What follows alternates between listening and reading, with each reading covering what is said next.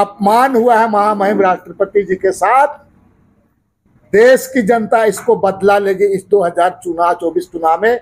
और इस राज्य की जनता से भी मैं अपील करता हूँ कि इससे ज़्यादा अपमान और कितना सहोगे। महामहिम राष्ट्रपति जी के साथ अपमान, देश के आदिवासियों के साथ, दलितों के साथ अपमान हुआ। भारतीय जनता पार्टी में जो आदिवासी नेता लोग हैं इसको देख करके उनको तो चुल्लू भर पानी में डूब मरना चाहिए। जो नेता, जो चमचागिरी करता है भारतीय जनता पार्टी का। पेड वर्कर लोग हैं भारतीय जनता पार्टी का नेता। पेड वर्कर है, बोलना चाहेंगे इसमें। जहाँ बहस करना कहे। इससे ज़्यादा और दूरबीन क्या देखोगे? बाबूलाल मरानी जी को और दिखाना चाहिए। वो ठीक है बोल रहा था, कुतुब मीनार से डेगेंगे बोल करके।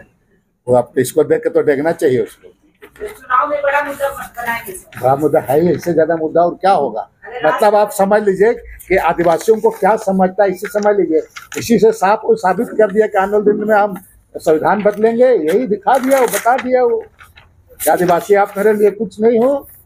अपना गिरबा देखे हो उनके साथ कौन कौन क्या है? भानु प्रताप शाही नहीं है क्या? कमलेश वगैरह लोग नहीं है क्या?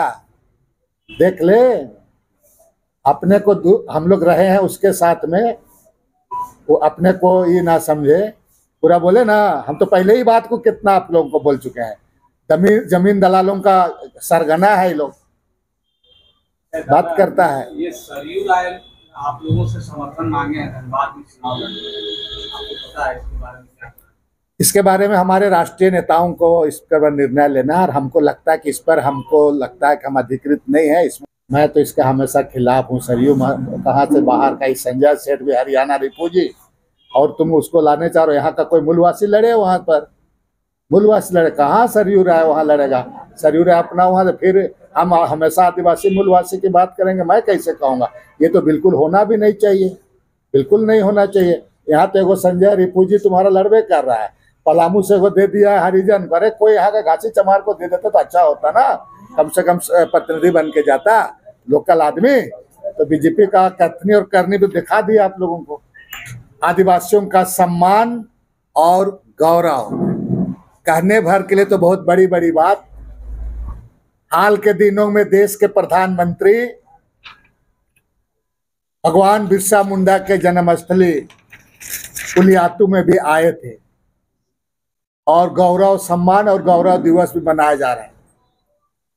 देश में राष्ट्रपति महोदया का क्या स्थान होता है, आप सभी लोगों को मालूम है। चलिए ठीक है लाल कृष्ण आडवाणी जी का हो सकता है स्वास्थ्य खराब होगा, वो बैठे रह गए। लेकिन प्रधानमंत्री जी को देखें, वो राष्ट्रपति खड़ी है और बैठे हुए हैं। देश को गौरव और सम्मान का ढोंग रचने वाला सबसे बड़ा देश का जादूगर। इसको नौटंकीबाज भी कहा जाए तो कम नहीं होगा। और इसके साथ साथ कल हमने टीवी अखबार में देखा, बाकी लोग भी बैठे रह गए हैं वहाँ पर। धनखड़ वगैरह जैसे लोग। इधर भी देखे, यही है आदिवासी दलित का सम्मान।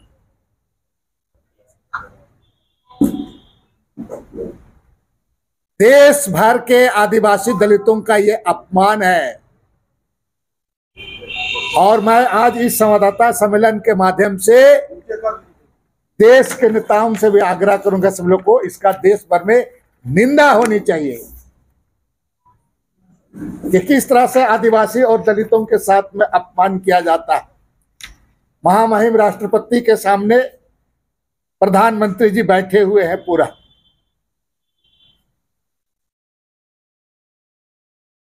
ये ढोंग और चुनावी चुनाव के समय और पहले से भी। जिस तरह से आदिवासी का अपमान इसी का है कि मणिपुर में हुआ, माननीय प्रधानमंत्री, चूँकि वहाँ आदिवासियों के साथ हुआ, वहाँ गए नहीं। आप देखा होगा यहाँ पर आपका जिस तरह से मध्य प्रदेश में आदिवासियों के साथ किया गया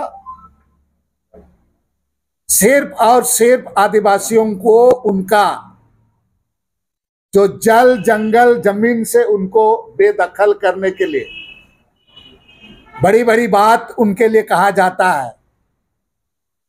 लेकिन जहाँ उनका सम्मान और हक की बात आता है तो नतीजा यही होता है, इस